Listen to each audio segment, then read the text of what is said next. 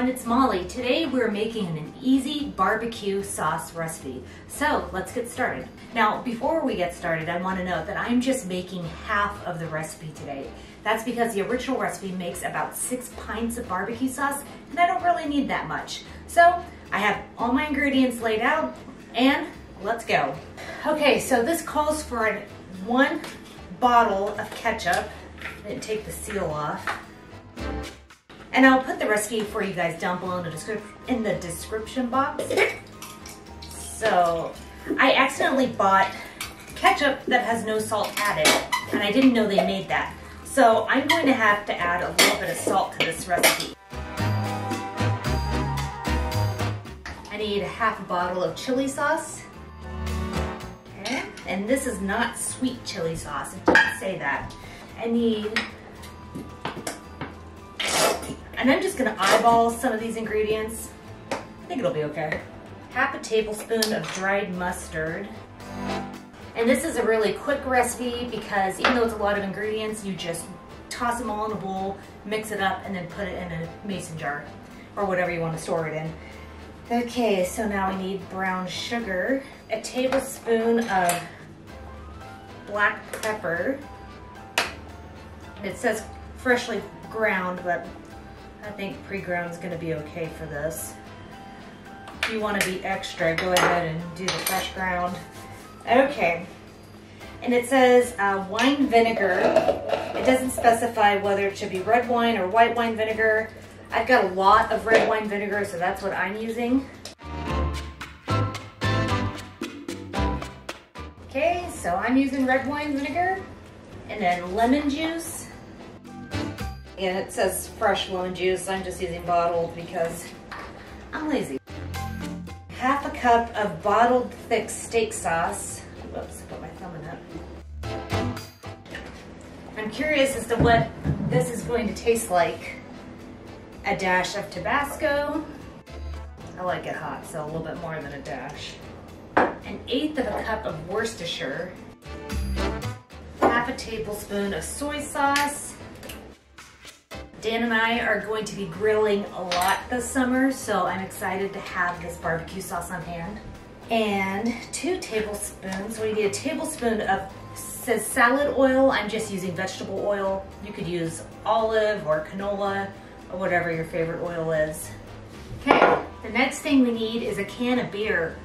So it's calling for a 12 ounce can of beer, so I need about six ounces. And I don't drink very much, so my sister left some Samuel Adams. This is a lawn chair lager. It's supposed to be refreshing and bright. You can use whatever beer you want. It will obviously affect the flavor of the barbecue sauce, so make sure you use a beer you like. I've never had this beer, so I'm really chancing it. So I need, what did I say, six ounces? Six ounces.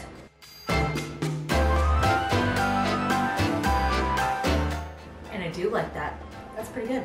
Now it also calls for uh, fresh garlic, but it says to hold off on adding it, add the garlic right before you use the barbecue sauce.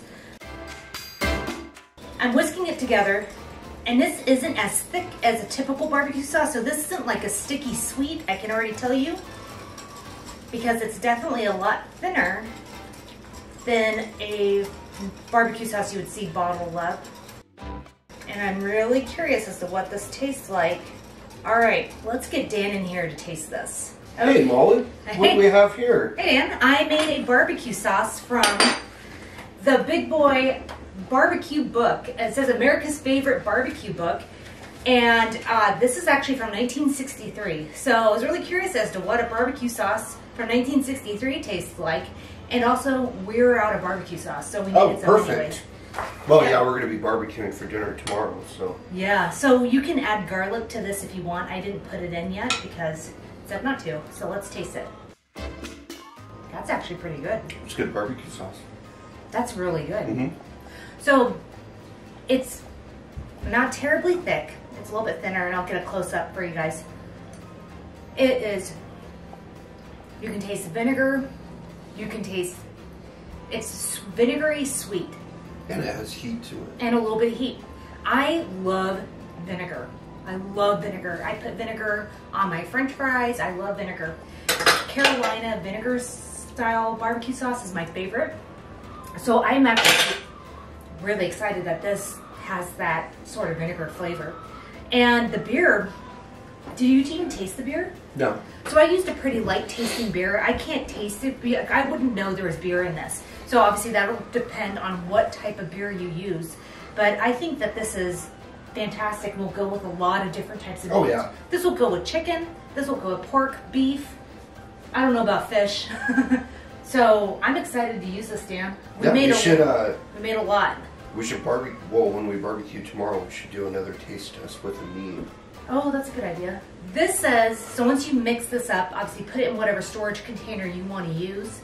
Now it says that the recipe says you can also freeze this. Mm. So maybe I should have made the six pints and just froze it so I had barbecue sauce to use. Oh, this is gonna last us for But this is a lot of barbecue sauce. time. This is really delicious. I mean, you Mhm. think so? Yeah. Yeah, I think it tastes really good with beef brisket. Yeah, this is the beer I put in it. Try it out. Oh. Oh, it's not bad. No, it's actually really good. So, barbecue sauce from 1963. Who knew? It's pretty dang good. I'm looking forward to trying it on something tomorrow. Yeah. Yeah, so we will grill some meat tomorrow. We'll throw this on there and we'll let you know how it tastes in action. All right, stay tuned. Bye everybody. Oh, well, I guess not. Okay, so here are Dan and I doing the taste test with the meat and the barbecue sauce. And so my microphone wasn't working. I didn't realize that. So here I am, like an idiot, recording this, not realizing that there's no sound being recorded.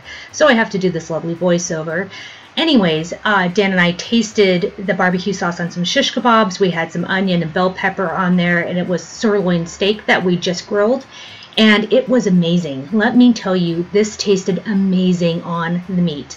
So, like I said before, I think that this would be really good with chicken, beef, or pork. I don't know about fish. I'm not a big fan of fish, but I mean, you could always try it out. But we loved it. We thought it was so good, and we thought that this barbecue sauce was just the perfect consistency. It's vinegary, sweet, and there I am, just no class, dipping right into the jar. And Dan's just using his hands like an animal. We actually call him Danimal. But uh, there, look at that. That's attractive. Okay, anyways, yeah, you can see my horrified look. We think that this was just amazing. It's vinegary, it's sweet, it's got a little bit of heat from it. And Dan was even saying that he would have liked a little bit more Tabasco sauce in there to make it a little bit spicier, but obviously that's up to your preference.